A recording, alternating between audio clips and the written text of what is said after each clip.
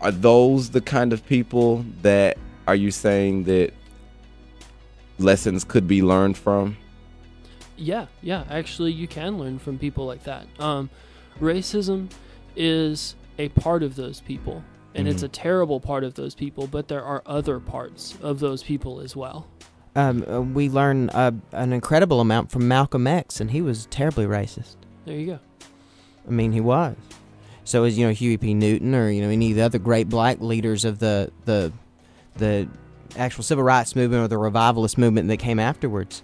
Uh, yeah, I mean there are good and bad aspects of every society and every person, and I think that uh, the the racism card gets pulled against the white community, maybe more so than it possibly should or probably should uh, we're seen as racist, like we said before with you know Archie Bunker and George Jefferson, two characters of very similar shows, both equally racist. One both played the laugh tracks, but yet one is seen as being incredibly offensive now, looking back, and the other one is still hilarious. Uh, so I mean, it's just it's it's this community that we talk about, this white community, this black community. It's uh, it's it's all changing, Mm. and I don't think it's ever going to be the same way that it was ever again ever for any anybody. I uh, we're we're- getting down to the last um, the last few minutes of the show. I have a message that I want to express to everyone out there. And I want you all to please um, listen carefully to me uh, when I say this. We have we've covered so far in this month of October, Race Relations Awareness Month. We've covered three different races. We've covered the African American community, we've covered the Latino community, and tonight, as you know, we have covered the white community.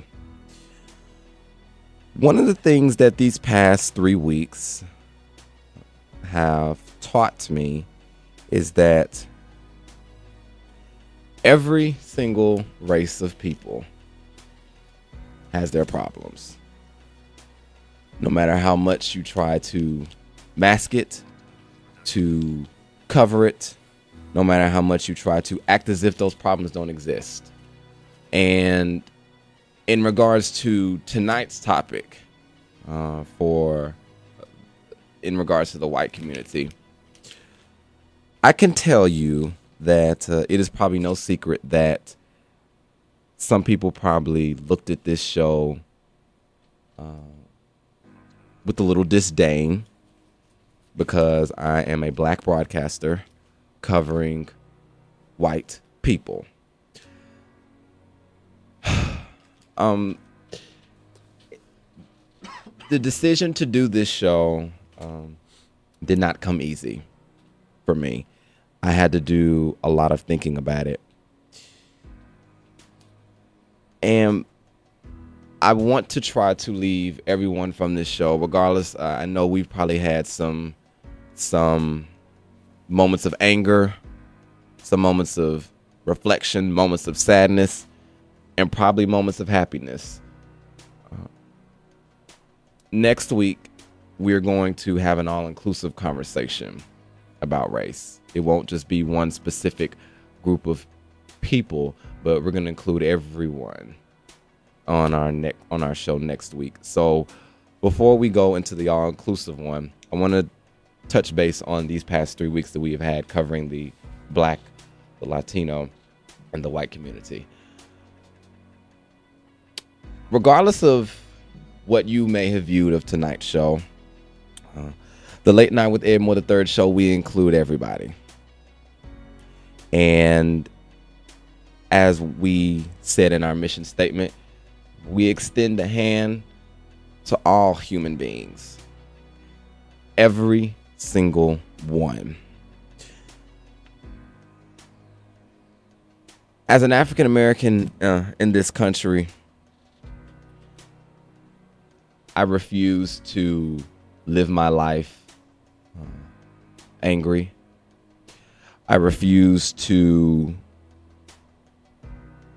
I refuse to allow the past to control my present and to control my future. I am not going to hold a grudge and I'm not going to be upset at the white community for what has happened. Images and pictures from our past do speak a lot. But for some reason, a part of me just refused to categorize or place an entire group of people in one box because of what has happened in the past. What I'm looking at on television, just because I'm seeing a white person with a sheet on their head with a KKK sign over their chest, that has nothing to do with the white person that might be sitting next to me who has done nothing to me. I am not going to live a life of anger. I am not going to live a life of revenge. I just, I refuse to live my life like that. I refuse to live my life like that because God cannot bless a prejudiced heart. And that goes for anyone out there, whether you're black, Latino, Native American, Asian. God cannot bless a prejudiced heart. And I'm here to tell you on this night that I, Ed Moore III, am not prejudiced against anyone. I don't care what happened in the past. I don't care what happened in the past.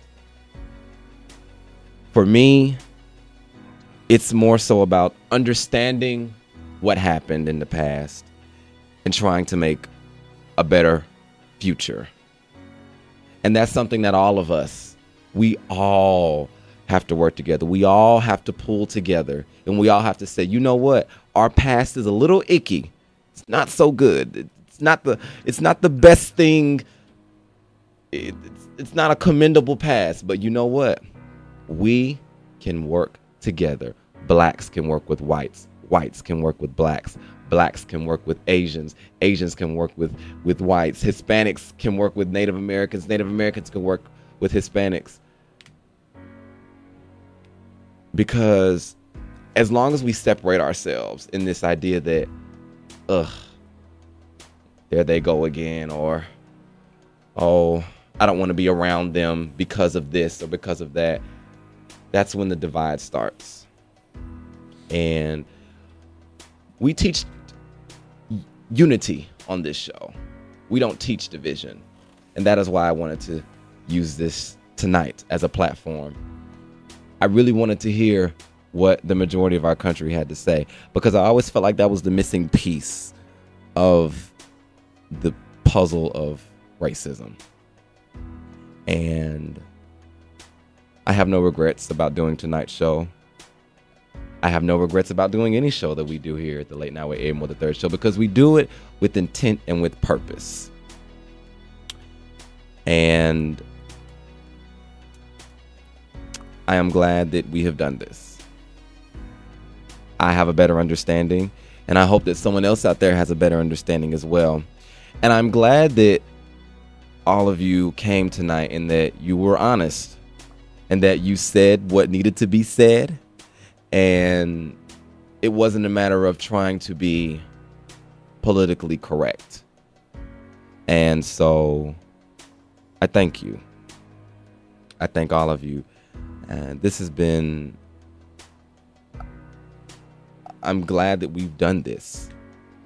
And I hope everyone out there knows that uh, this entire month our focus has been nothing but change. That's all. And in order to enact change, you have to include everyone, not just people who look like you. And although none of you all in the room look like me, you all, in some way, shape, or form, helped to bring about change in one way or another. And that's all this show is about. That's all we try to do. And love one another, respect one another, and understand that every individual, every human being, every form of life has the right to be on this earth because God put them here. God gave you permission to be here, you're here. God gave them permission to be here, they're here. God gave permission for every single one of us blacks, whites, Hispanics, Asians, Arabians, Europeans, Africans, North Americans, South Americans, uh, Barcelonians. He gave all of us permission to be here. And we are here. So, with that being said, go forth, be blessed, and know that you belong here, regardless of the color of your skin, because you are here. And we all deserve to live in a better world. And we must work together in order to achieve that. I thank you all so much.